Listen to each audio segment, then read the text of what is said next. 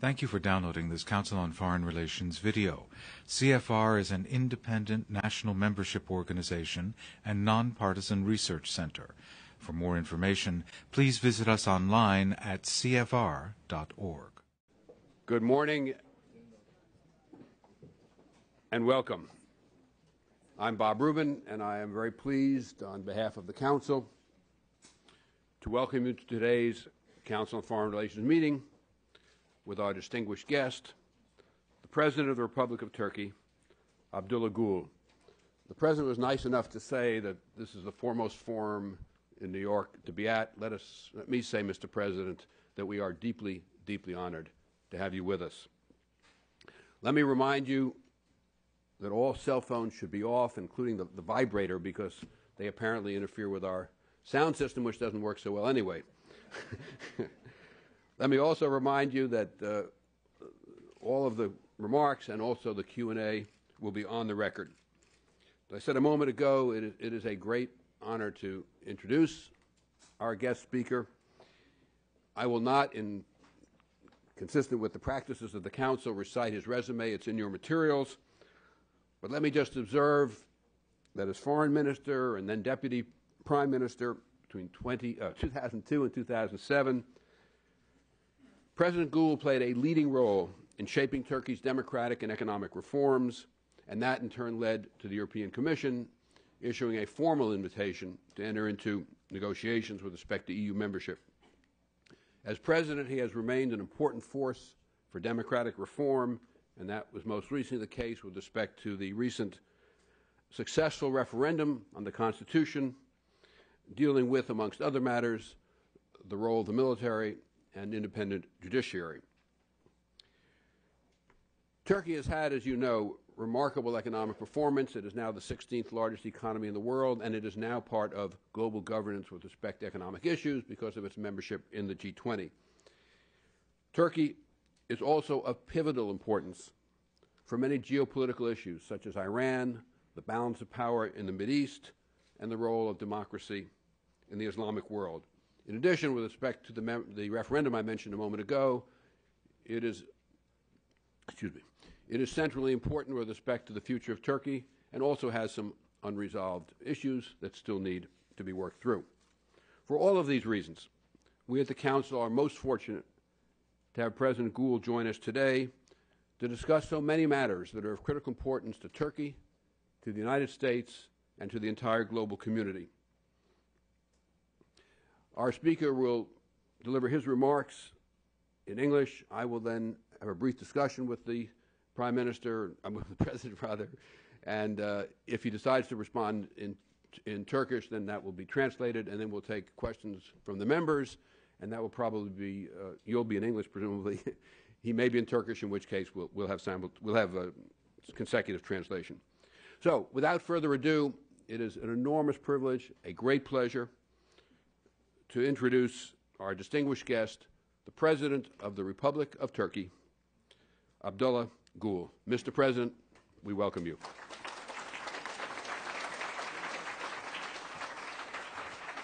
Thank you. Thank you very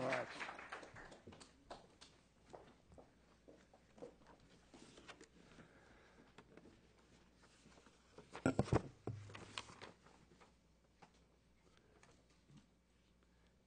President Haass, ladies and gentlemen, good morning. It's a great pleasure for me once again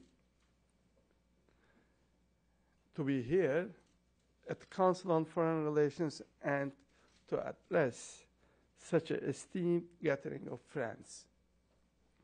CFR has been one of the leading intellectual centers in the U.S. on foreign policy issues with its able leadership, powerful team of experts, and influential publications, notably Foreign Affairs magazine, the Council has always been a place where the great policymakers share their ideas and collaborations. I still remember my first speech at CFR in 1997 there are friends, they remember still. When I was Minister of State. Since then, I always enjoyed and valued my participation in similar events organized by CFR. It's a very prestigious place to make a speech here, so I very much value this. Ladies and gentlemen, during the Cold War years and for a while afterwards, security related issues lay at the core of our relations. Indeed, Turkey and the United States have been vital to each other's security and interests for many decades. We have stood together in the face of international challenges from Korea to Bosnia and from Somalia to Afghanistan. It has been a vital partnership based on shared democratic values and an agenda for positive change on regional and global issues of common interest. However, the new dynamics of the international system have introduced a clear element of multidimensionality in our bilateral relations. Obviously, our partnership has to reflect the realities of our age. Although still important, security issues are no longer the sole determinant of our partnership. Today, our common agenda for cooperation extends from various regions and countries, including Iraq, Afghanistan, Pakistan, the Middle East, the Balkans, the Caucasus, Central Asia, and the Eastern Mediterranean. The important thematic issues related to energy security, NATO non-proliferation, the fight against terrorism, the global financial crisis, cultural polarization, poverty, and development. Therefore, our relationship cannot solely be qualified as a strategic partnership anymore. It should be a more comprehensive model partnership. As President Obama categorized, characterized it during the first overseas bilateral visit to Turkey last year. The vision of a model partnership requires that we enhance our relationship in various fields in addition to security. In particular, we should bring our economic and commercial relations to a level that is proportional with our political and military relations. I raised this point with President Obama when he visited us last year and proposed to establish a new mechanism in our dialogue for economic issues. I sincerely appreciate his immediate endorsement of this idea. With President Obama's backing, the first ministerial meeting of the Framework for Strategic Economic and Commercial Cooperation will be held on October 19, 2010, in Washington.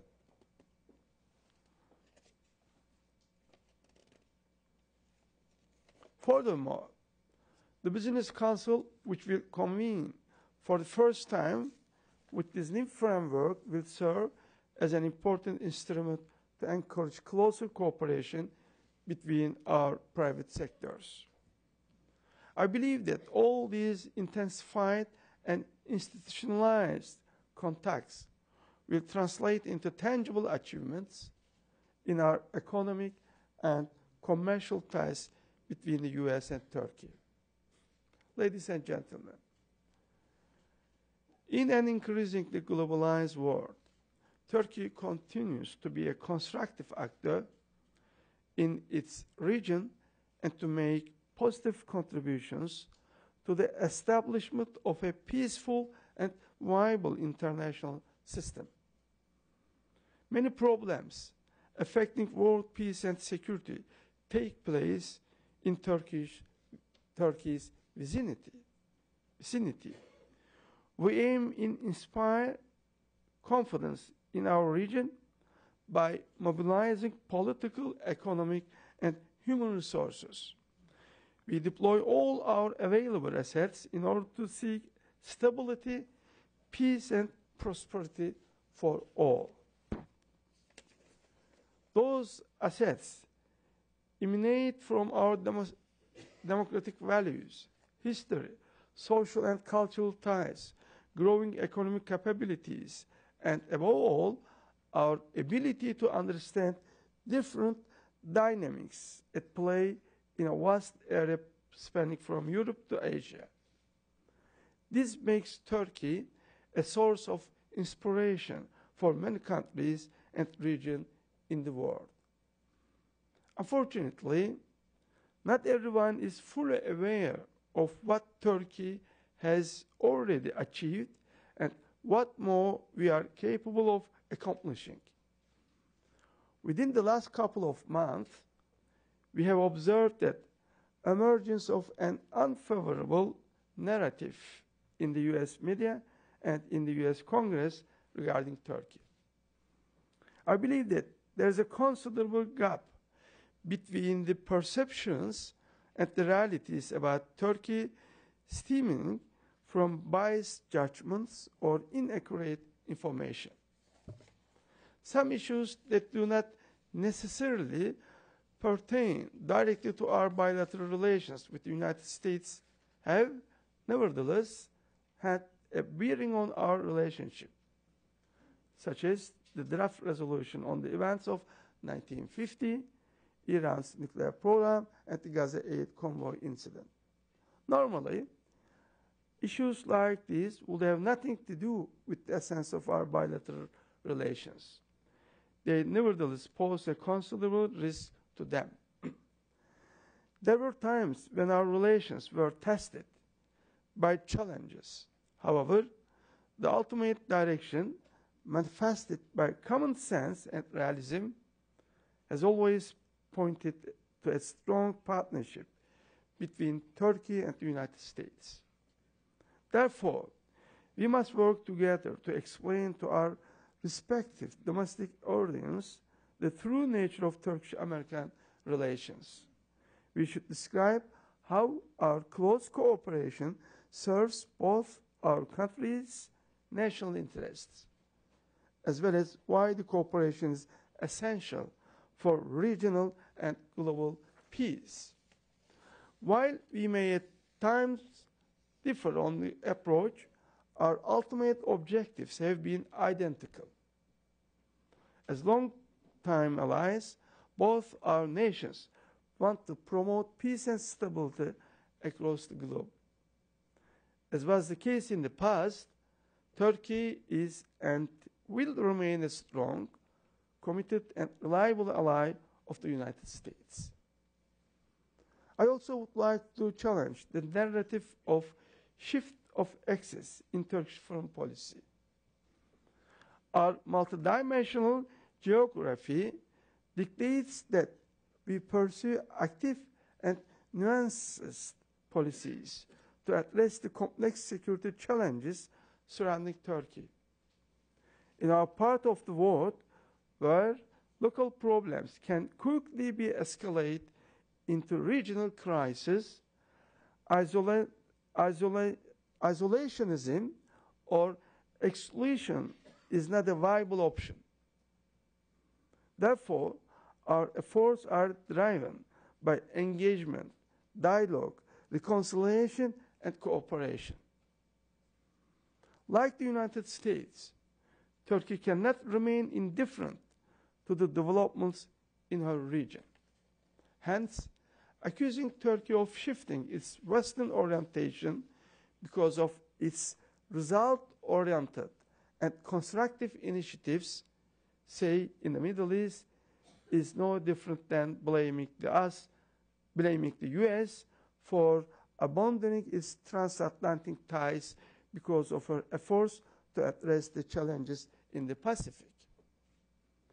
Distinguished guests, there are many issues where Turkey, Turkish US foreign policy overlap. It's my sincere, sincere, sincere conviction that our firm cooperation will serve like a diplomatic, multiplier in the resolution of a significant number of pressing global and regional challenges and conflicts. Middle East, Afghanistan, and Iraq are the cases in point. Let me begin with the Middle East peace process. Permanent peace in the Middle East holds the key to a peaceful and stable future in the world. Nevertheless, the absence of peace there has had serious and adverse strategic consequences for the rest of the world. Therefore, we always supported all efforts to reach a comprehensive peace in the Middle East. With this understanding, we appreciate President Obama's efforts and welcome the direct negotiations between Israel and the Palestinians. We hope that this new engagement can take us closer to a viable and fair settlement. With regard to the Israeli military attacks against a civilian humanitarian aid convoy on the high seas in May, at the outset, we tried to prevent any unwanted action and were always in contact with Israel. Nonetheless, the attack resulted in a grave civilian casualties and was an unacceptable act in clear violation of international law. Therefore, we attach particular importance to work of the panel of inquiry and fact-finding mission in UN.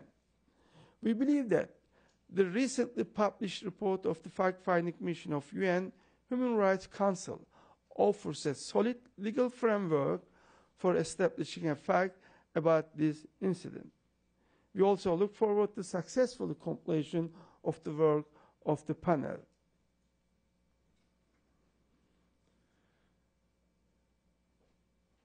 That said, I must also emphasize that Turkey and Israel are friends.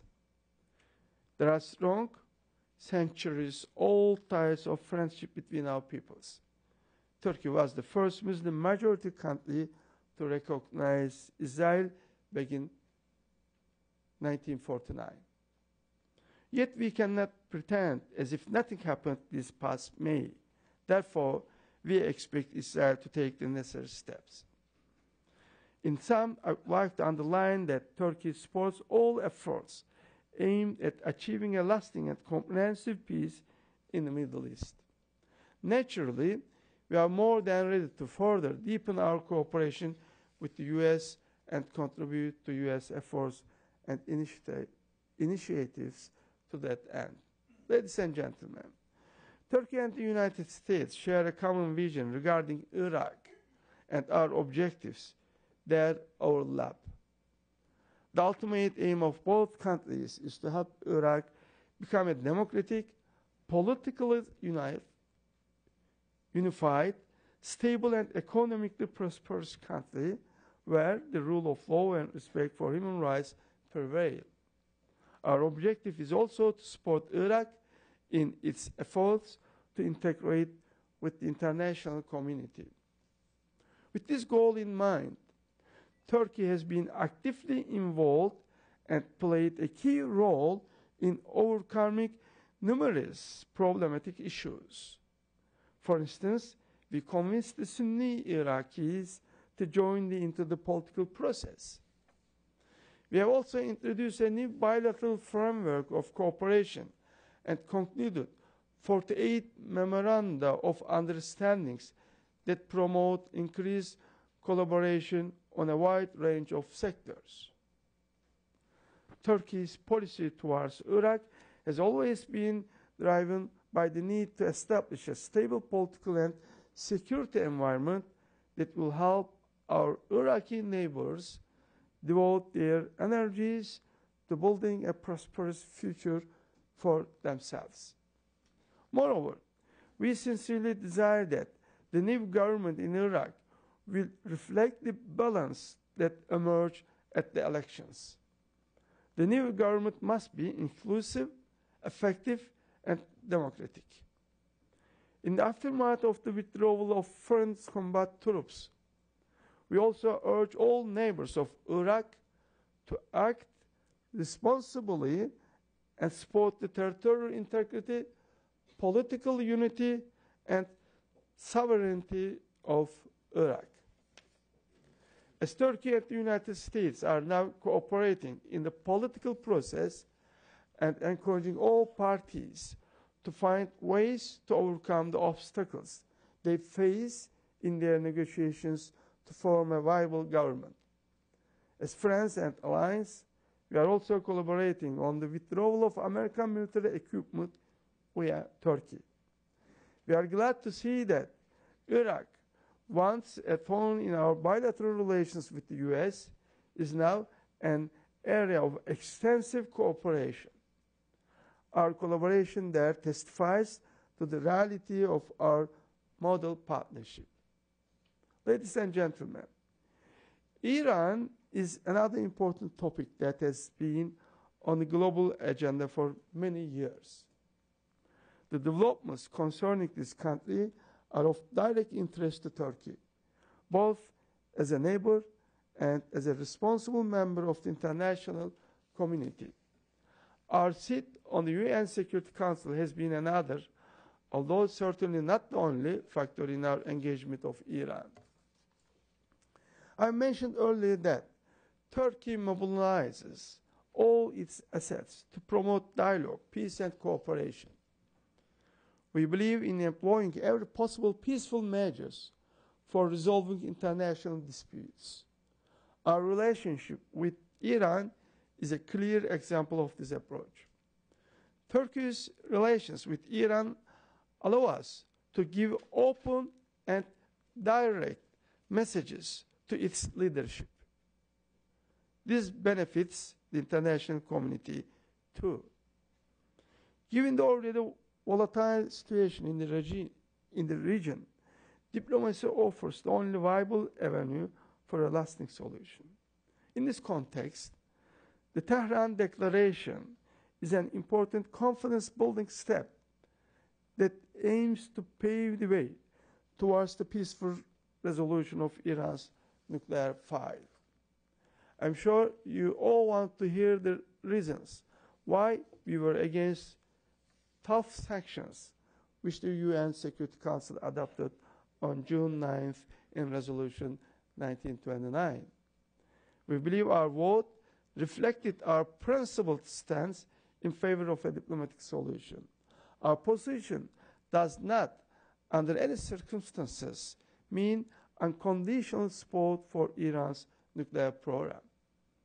On the contrary, we have made it clear to the Iranians that we do not want Iran to have nuclear weapons in our neighborhood. What we want to do is give diplomacy, give diplomacy a, a chance, the time, and speed to succeed. Eventually, our efforts kept diplomatic track alive. In our view, patient diplomacy, engagement, and sustained negotiations stand a much better chance of producing the desired results that rigid sanctions than rigid sanctions which end up hurting civilian population at neighboring countries alike. There is yet room and time for a peaceful and negotiated resolution of these sensitive issues. This opportunity should not be missed. Turkey will remain engaged and ready to bring about a diplomatic solution of this very critical matter, which has the potential for making a breaking the quest for peace in the Middle East. Ladies and gentlemen, in elaborating the issues top on our agenda, I wish to touch upon another important subject Afghanistan. Securing peace in Afghanistan will mean stability security and prosperity for Afghans, the region, and the world. Turkey invests heavily in the future of Afghanistan, with which we enjoy deep rooted multi dimensional relations.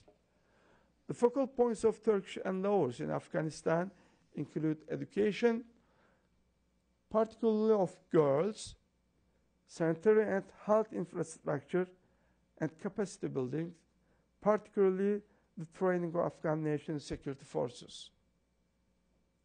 Our assistance program has provided medical treatments to 1 million Afghans, education to 70,000 boys and girls, and training to 13,000 Afghan soldiers and policies, police.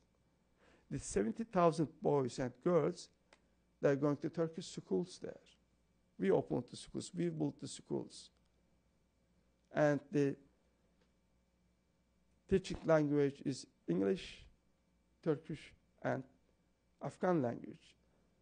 So all those girls and boys, they speak fluent in English and in other languages.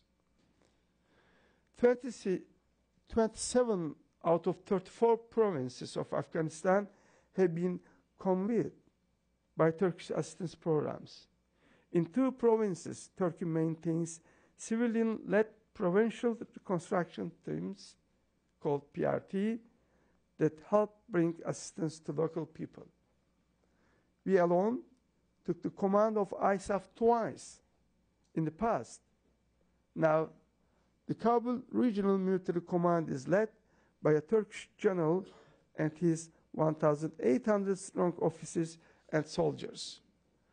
While some of our allies were withdrawing their soldiers from Afghanistan or not willing to take any responsibility, we decided to lead the Kabul Regional Command for one more year upon the request from allies, including President Obama.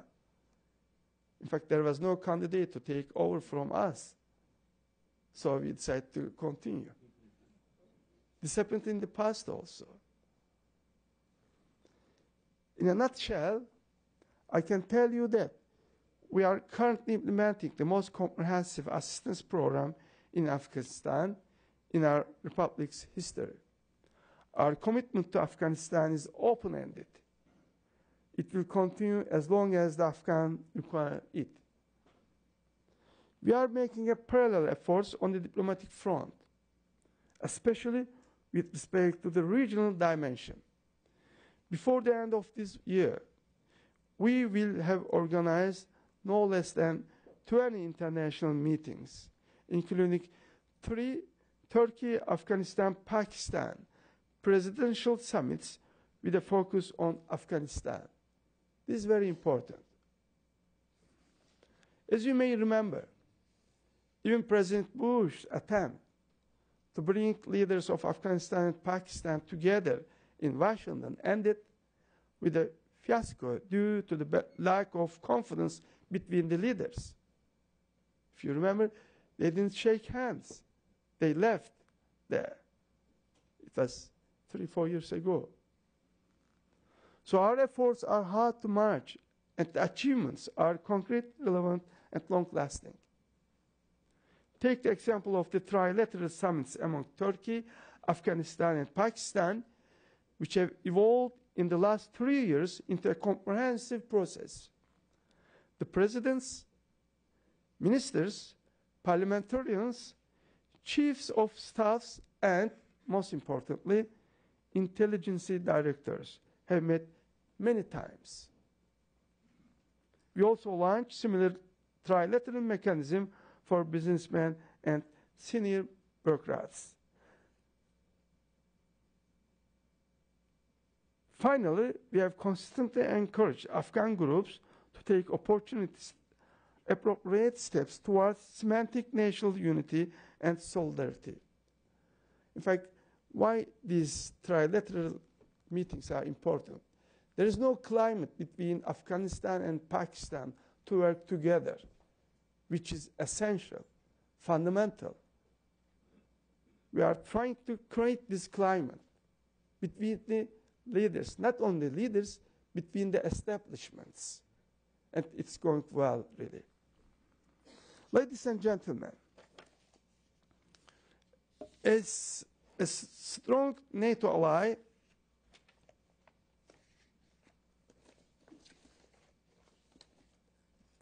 a negotiating candidate to the European Union, and member of many regional and global organizations, Turkey is a network and connected power.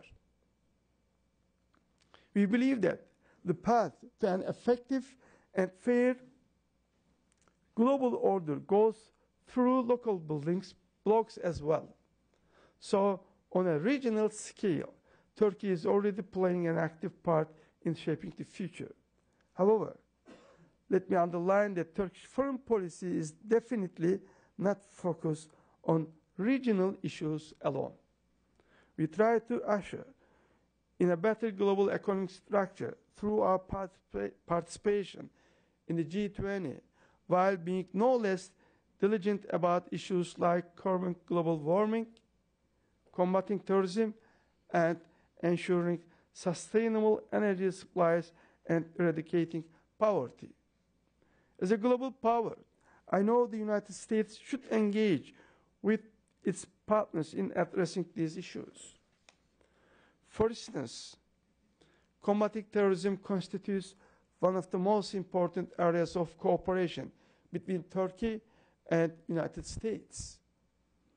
We believe that this threat cannot be countered without sincere, effective, and concrete international cooperation.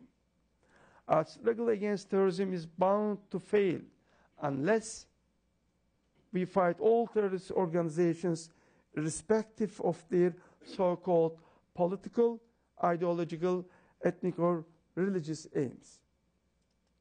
As the two alliances long suffering from terrorism, we should enhance our cooperation in fighting terrorist organizations such as, such as Al-Qaeda and PKK.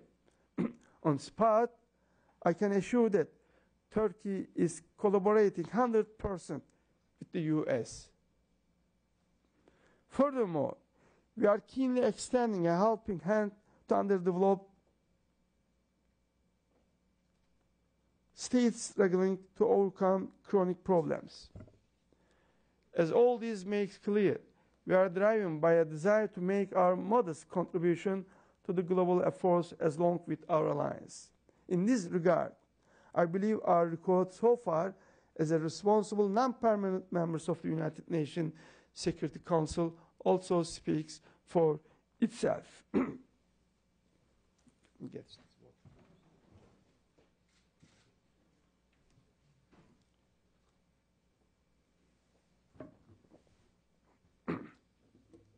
Distinguished guests, these are only some of more urgent issues on a long list of subjects that are of direct interest to both Turkey and the US.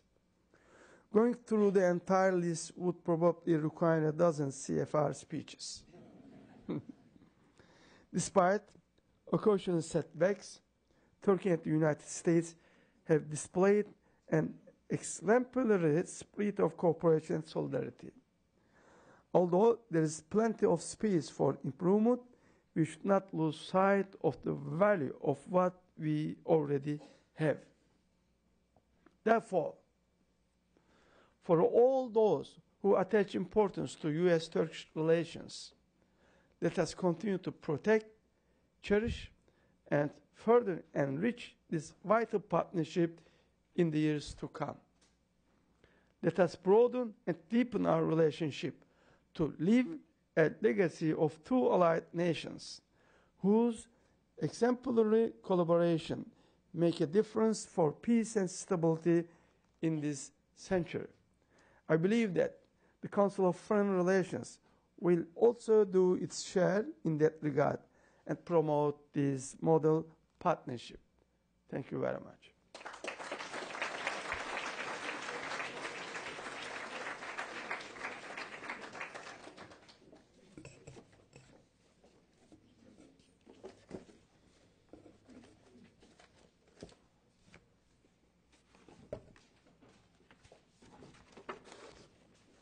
That was remarkably substantive, Mr. President. Would you sit here? or I'll sit here. Okay. Good. Well, let, let me start by saying, Mr. President, that I have been, as many of the people here have been, at a lot of uh, addresses by heads of state, prime ministers, presidents. This was a remarkably substantive and specific speech, and we thank you. You said that a dozen more would be required to complete your program. Well, this is one. Yes. You've got 11 to go.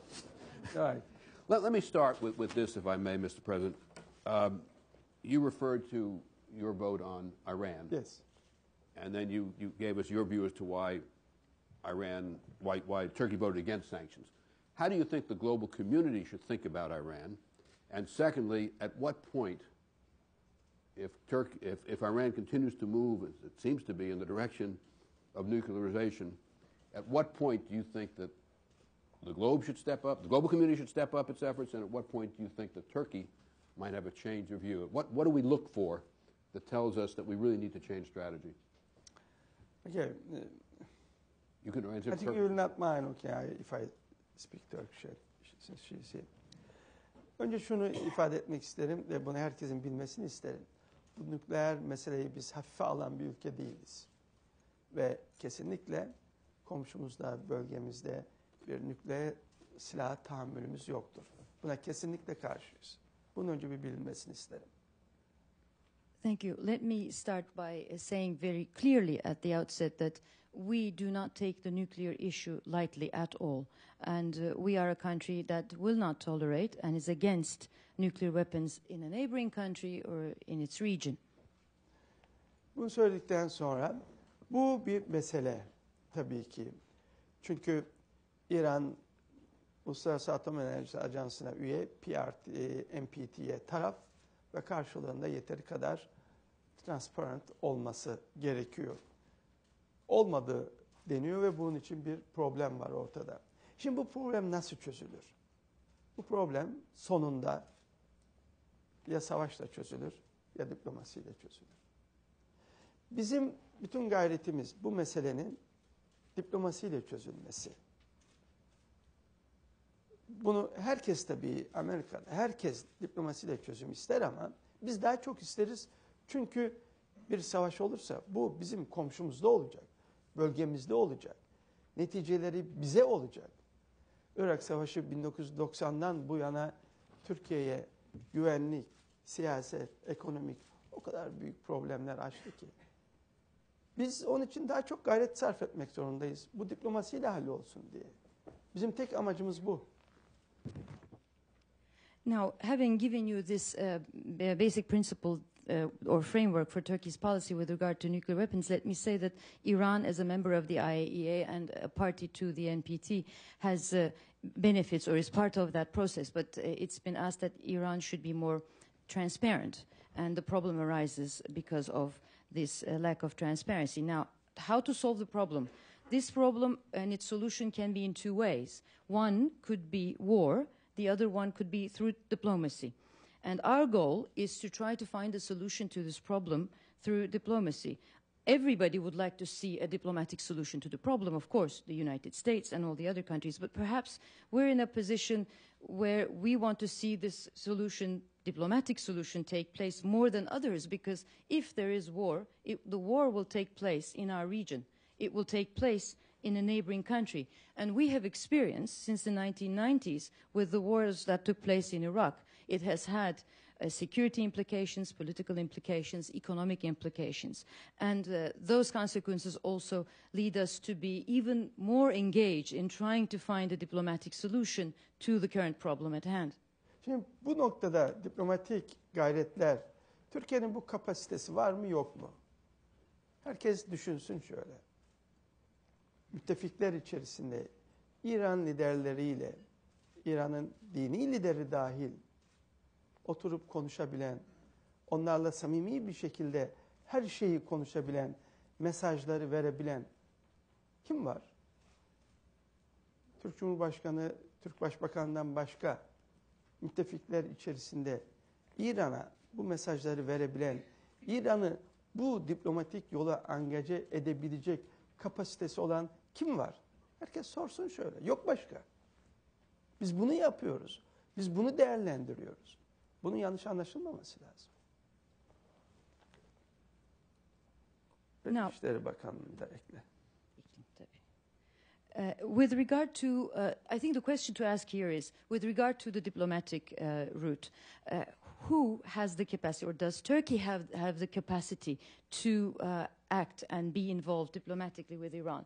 If you look at all the allied countries, our allies, who, which leaders amongst those countries can have the capacity, the ability to be able to have direct talks, discussions with the Iranian leaders, including the supreme leader, the religious leader, who, other than the Turkish president, Turkish prime minister, Turkish foreign minister, amongst the allied countries, have the capacity to be able to uh, communicate and convey the messages that need to be conveyed to the Iranians. There, there isn't anyone. And that's why we are very much involved and it is exactly for this reason that we are trying to do everything that we can to make sure that this process moves forward. And that in itself should not be misunderstood because this is the basis of what we're trying to do with Iran. Dün genel Başkan Obama'nın konuşmasını dinledik. Diplomasi penceresi açık dedi. Diplomasi penceresi açıksa açıkçası Türkiye'nin bu bu fırsatı bu fırsatı verdiği için bu diplomatik pencere açık.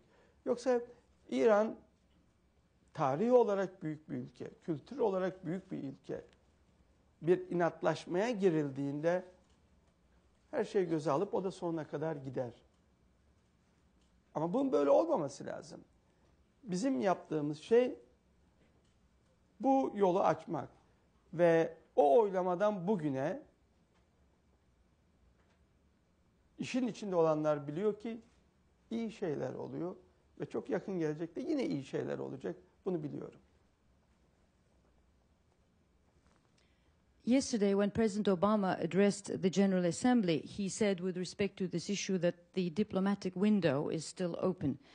It is because Turkey has this ability or has provided this opportunity that the diplomatic window is still open. Because otherwise, Iran is a, a great a country that has great history, great culture, and if it were so that each party dug their heels and kept firm in their own positions, and this led to some uh, unwanted results, they can go all the way to the very end, the Iranians can. So it's very important that we uh, focus in this framework of diplomacy. And since the vote, which you mentioned, there have also been positive things. And we've always been in communication with uh, all the parties. And I can say I believe that in the near future, too, there will be still positive things. Th thank you, Mr. President. I, I think the, I, I, thank you, and that's a very thoughtful answer. I, I, guess the question still lies is if, if at some point the diplomatic process doesn't seem to be working, what should the global community do? Ee, şüphesiz ki ben başında söyledim. Ee, nükleer silaha kesin karşı olduğumuzu. Nükleer silaha bakın eğer bir nükleer silah söz konusu olursa bu İran veya başka bir ülke bu Amerika'dan çok bana tehdittir. Geçenlerde de söyledim. İki kişi yürürken arkadaş olan iki kişinin birinin belinde silah, öbürünün yoksa belinde silah olan daima farklı davranır. Belinde silah olmayan da daima farklı hisseder kendisini. Onun için biz bunu hafife alan bir ülke değiliz. Bunun altını tekrar çiziyorum. Amerika'ya mı tehdit olacak? Veyahut da Avrupa'ya mı veya başka yani Orta Doğu'da başka bir yere mi tehdit olacak? Önce bölgeye olacak. Onun için ben şunu genel kurulu konuşmamda da söyledim. 1991 yılında Birleşmiş Milletler'de 687 sayılı bir karar kabul edildi Güvenlik Konseyi'nde. Orta Doğu'nun nükleer silahlardan arındırılması ile tamamen arındırılmaya dönük. Bu tabii çok komprehensif bir şey. Bunun karşıtı var Filistin, e, İsrail meselesi, İsrail'in güvenliği falan bunların hepsi bir paket içerisinde eğer Orta Doğu bütün bölge nükleer silahlardan arındırılırsa ki bununla ilgili dediğim gibi Güvenlik Konseyi kararı var. Geçenlerde NPT ile ilgili yapılan toplantıda Başkan Obama 2012 yılında tekrar toplantı çağrısında bulundu. Bu konu dikkate alınırsa ve enerji buraya sarf edilirse ben neticeye ulaşılabileceğine inanıyorum. Çünkü burada İran'ın kendi güvenlik algılamaları var. Bütün bunlar hep anlaşılarak çözülebilir kanaatindeyim.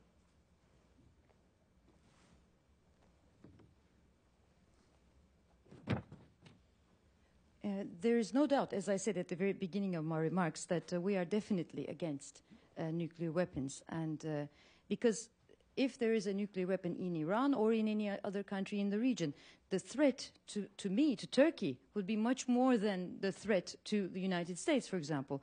And as I referred to somewhere else during this week, this is like two friends walking on a street. When one of the friends acquires a pistol and the other one doesn't, then the behavior of the one that has the pistol will quite naturally be somewhat different. And the one who doesn't have the pistol is definitely going to feel a little different vis a vis his friend. So that is to say, and I'll repeat what I said at the very beginning, we do not take the nuclear issue lightly at all. And because, also because it's not going to be the US, European countries, but more the region which will be under threat. That's why, for example, back in 1991, at, and I said this at the, uh, my speech at the General Assembly this week, the UN uh, passed a resolution, Resolution 687, for a um, Middle East which is free of nuclear weapons, which foresaw or envisioned a very comprehensive idea of um, having no nuclear weapons in the region with many implications and many considerations, including that of the security of Israel. And there are also, of course, Israeli-Palestinian issues, which were also part and parcel of the discussions that led to that resolution. Uh, President Obama made an appeal for another NPT meeting in 2012. I think that it's very important that we, there is energy devoted, continued energy devoted to this issue so that these, this problem can be resolved. One has to also, in this process, of course, take into consideration Iran's own security perceptions, the way they perceive security uh, in uh, and around itself. So I think there's still room for finding a solution if energy is devoted to this process. Mr. President, thank you. And why don't we ask for members, uh, on the right there, yeah. Just state your name, if you would, your affiliation, and a brief question so that we can get as many questions as possible. Yes, sir. My name is Khalid, Khalid Azim. Stand up. my name is Khalid Azim. Uh, Mr. President, my question is, what's your reaction to the growing uh, Islamic sentiment in Europe and even to some degree here in the United States? And your affiliation? Uh, don't have one. Good. That's a good thing. no agenda.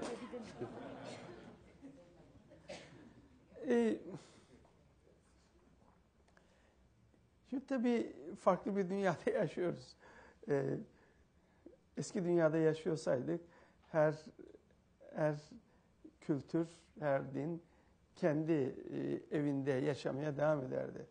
E şimdi madem ki dünya işte bir küçük köy malum tabirle herkes her yere gidecek ve yerleşecek. Onun için e, farklı kültürler, farklı dinlerle karşılaşınca e, çeşitli problemler çıkıyor. E, ama e, İslam e, Avrupa'da yabancı değil. Avrupa'nın dinlerinden birisi de Müslümanlıktır. Tarih boyunca bakarsanız. Tarih boyunca baktığınızda 400-500 yıl Avrupa'nın ortaları, Avrupa Avrupa'da Müslümanlık vardır. Kiliseler gibi camiler vardır. Yani yeni gelip işte New York'a bir cami yapalım dedikleri gibi değil. Avrupa'nın her tarafında camiler vardır. Dolayısıyla İslam yabancı bir şey değildir. Bununla ilgili bugünkü tartışmalar ve tolerans içerisinde herkes de yaşamıştır. Kilise ve cami yan yana, sinagog yan yana olmuştur. Saraybosna'ya giderseniz göreceksiniz yan yana duvarlar. İstanbul'da da öyle. Kilise, cami, sinagog yan yana aynı duvarı paylaşıyorlar. Bugünkü problem politik. Bugünkü politik toleranssızlık politik sebeplerden dolayı kaynaklanıyor. Ve bu tehlikeli doğrusu. Burada da ki Amerika'da e, Amerika her bakımdan Avrupa'dan ve dünyanın her tarafından daha güvenli, tolerant, karşılıklı herkesin inancına, dinine, düşüncesine, kılığına, kıyafetine saygılı bir yer. Amerika böyle, böyle bilinir. Ama burada da şimdi bu tip tartışmalar görüyoruz. Tabii ben bunların hep politik şeyli olduğu kanaatindeyim. Ki tehlikeli. Onun için hepimiz, herkes bu tip ekstrem şeylere anında cevap verip susturmamız lazım. Avrupa'da, burada veya İslam ülkelerinde. Nerede olursa olsun. Of course, we live in a rather different world today. In the past, in the old world, people of different religions and cultures usually lived where they were born and they didn't go places. Today, everybody's traveling, everybody's living in different places. As the uh, popular saying goes, the world is a small village, so uh, everyone of different uh, religions and cultures uh, find themselves living with people of different cultures and religions uh, in other places, which leads to this encounter between religions and cultures, which gives rise perhaps to some of these issues, problems, and challenges. But Islam is not foreign to Europe. If you look at history, Islam has been part of uh, Europe for five, uh, four, five hundred years. It's been there. You can see churches next to mosques. It's not like building a new mosque altogether, like here in New York, the discussions about new mosque. In Europe, it was always there. The mosques were there, the churches were there, uh, and they all lived together, and people uh, lived in tolerance with each other. You had synagogues and churches and mosques sharing the same area. If you go to Sarajevo, for example, in Bosnia, you will see these uh, places of worship sharing the same space, sharing the same area, the same wall, being next to each other. In Istanbul, too, that is the case. I think what gives rise to this discussion today is more politically rooted. This, that's, there, that's where the lack of tolerance comes from, and I think that is the danger that uh, is associated with the discussions today. Now, here in the United States, your country is. Um, much more tolerant. Um, it has respect for people of different uh, creed, different uh, religions, different uh, dresses, and so on, than perhaps more the rest of the world. This is how you are known. Uh, but nonetheless, there is that discussion here in Turkey, in the United States as well. And I think, as I said, this is politically driven, and that's where the um, dangers lie. And that's why we must make sure that we immediately respond to those discussions and try to stop any kind of extreme interpretation over uh, the issues under discussion. I don't mean to say this should be done only here in the US. I mean to say it should be done everywhere in the world, in the US, in Europe, in Islamic countries, all around. Yes, sir. Bulchand, New York University. Mr. President, I think I've attended all your speeches here, which is why I hope our chairman's wish that he'll give many more will be fulfilled. uh, I want to ask you a question of importance to Turkey, the United States, and to world affairs. Given the present mood of the public in Europe, what will be your expectation of Tur- Turkey's application for the European Union?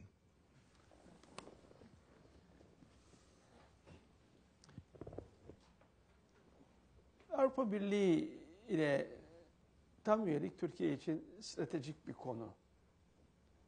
Avrupa Birliği ile bizim ilişkilerimiz yeni de değil aslında. Ta 1960'larda ta ilk birlik daha birlik haline gelmeden başlamış ilişkilerimiz. Ama siz de biliyorsunuz ki müzakereler resmen 2005 yılında başladı. Ama 15 yıl önce de Avrupa'nın gümrük birliğine girdik biz Türkiye olarak. Şimdi biz bu e, müzakere sürecini başarıyla bitirme azmindeyiz. Bununla ilgili reformlar kararlılıkla devam ediyor ve devam edecek. Maalesef Avrupa Birliği zaman zaman bu süreci yavaşlatıcı politik bir tavır alıyor. Bunun sebebi şu Avrupa Avrupa Birliği üyesi ülkeler o kadar çok iç politikayla meşguller ki stratejik vizyonları noksan açık söylüyorum. Buna bu da açıkça söylüyorum. Avrupa'nın stratejik bakışı çok noksan. Yani 50 sene sonrasını, 60 sene sonrasını hiç düşünmeyen bir Avrupa var bugün karşımızda. Bunun böyle olmayacağı kanaatindeyim. Eminim ki bu değişecek. Bu stratejik bakış geldiği anda bizim bu sürecimizi hızlandıracaklardır. Biz otomatik bir şekilde girelim demiyoruz. Biz şartları yerine getirdikten sonra girelim diyoruz. Ama bu şartları yerine getirme konusunda e, bizi engellememeleri lazım. Şimdi engelliyorlar. Yani biz ne yapıyoruz? Biz Avrupa Birliği hukukunu, standartlarını adapte ediyoruz. Bunu adapte etmemizi adeta engelliyorlar açıkçası. Ya böyle bir şey olmaz bu. Çok büyük bir tezat. Uh, becoming a full member of the European Union for Turkey is a strategic vision, a strategic goal. And Turkey's relations with the European Union date back many years. Uh, it started in the 1960s before the Union became the Union. Uh, and our formal negotiations for membership, on the other hand, began officially in 2005. However, before that, 15 years ago, Turkey had already achieved a customs union with the European Union.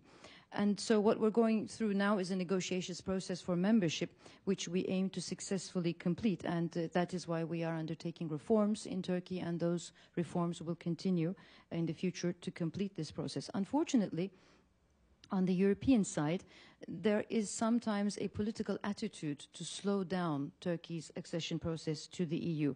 And most of this arises from domestic political considerations in the European countries. And I can say very openly and clearly to you here that Europe today lacks a strategic vision, a strategic perspective for, for what it wants to be 50, 60 years down the road. I hope that when that changes, when there is a strategic um, perspective for the EU itself, for what it wants to be, then the circumstances to Turkey's accession process to the EU will also change and that process will uh, gain greater momentum.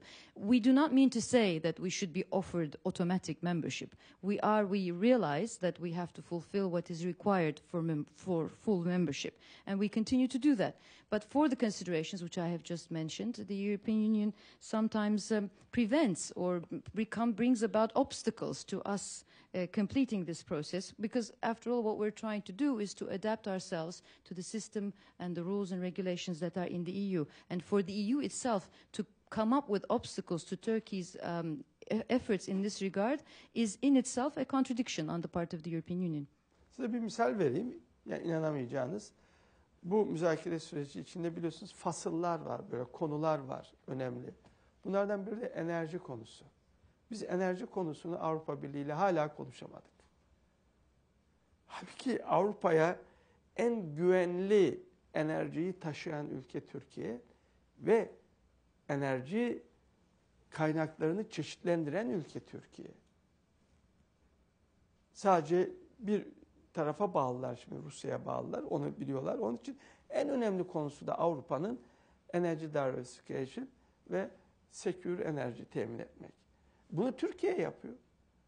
Nereden yapıyor? Kafkaslardan yapıyor. Nereden yapıyor? Orta Asya'dan yapıyor. Kazak petrolleri Türkiye üzerinden akıyor şimdi. Nereden yapıyor? Irak'tan yapıyor. Nereden yapıyor? Arap gazı Türkiye'ye geliyor, yapıyor. Ve nereden yapıyor? İran'la da bizim gaz şeyimiz var. Yani işler normalleşirse İran'ın da bütün kaynakları yine Türkiye üzerinden gidecek. Türkiye ve Yunanistan arasındaki boru hattı bütün geçen seneki enerji krizine rağmen hiç kesilmedi. Enerji sıkıntısı çekmeyen tek ülke Yunanistan oldu. Çünkü Türkiye kendi sıkıntı çekti, Yunanistan'a kesmedi. Şimdi bu kadar stratejik önemi var Avrupa için. Biz hala bu konuları konuşmuyoruz. Çeşitli politik sebeplerden engeller çıkartıyorlar. Ben de diyorum ki tamam siz bilirsiniz diyorum. Uh, the gentleman against the post in the back. Let me, let me translate first. Oh, the translate. Yes, I apologize. not, not that I understood the Turkish. I just As if you understand. no. I, I, As if he understands. yes. I wasn't meaning to imply that. Go yes. Just to give you an example between, uh, about relations between Turkey and the European Union, and which you will find quite difficult to believe, perhaps, uh, there are in accession negotiations with the European Union chapters on the, which countries negotiate to complete their harmonization with the EU for full membership. One of those chapters is on energy. And Turkey has not yet been able to begin negotiations on the chapter on energy with the European Union which is uh, quite interesting because uh, energy is a very important uh, matter and our country turkey is where you can get the most secure transport of energy uh, and diversification of supply is very important for europe and that also goes through turkey because at the moment europe is quite dependent on russia and they need diversification of resources of energy and se security, secure energy supply.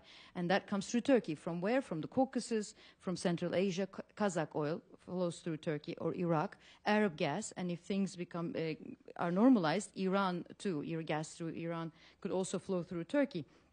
Turkey also has a, um, an energy pipeline with connecting it to Greece. And when there was an energy crisis in Europe recently in the winter, Greece didn't have any trouble or problems because energy kept flowing from Turkey to Greece even at the expense of perhaps uh, having more difficulty in Turkey, that uh, flow of energy was never cut off to Greece. So this is a very strategic matter, but uh, we still see on the European side some political considerations get in the way of, for example, moving forward with a strategic issue such as energy. So when we speak, when I speak to the um, European leaders and we have this discussion, uh, what I say to them is it's up to them, and they are the ones who have to adopt this vision. Mr. President, we have a, a principle at the Council of always ending our sessions on time. It is now 11:30. I think most of us could stay here for a long, long time and listen to you. But we thank you. You were very specific. You were very substantive. You were terrific. Thank you for watching this Council on Foreign Relations video. For additional audio, video, and transcripts of CFR meetings, as well as expert analysis of international news, please visit us online at cfr.org.